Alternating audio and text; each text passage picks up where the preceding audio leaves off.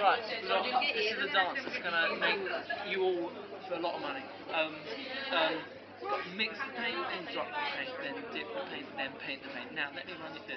This mix the paint, drop the paint, dip the paint. Bear in mind you have to use both hands, and then mix the paint. You dip no, paint, sorry, so strong. wrong.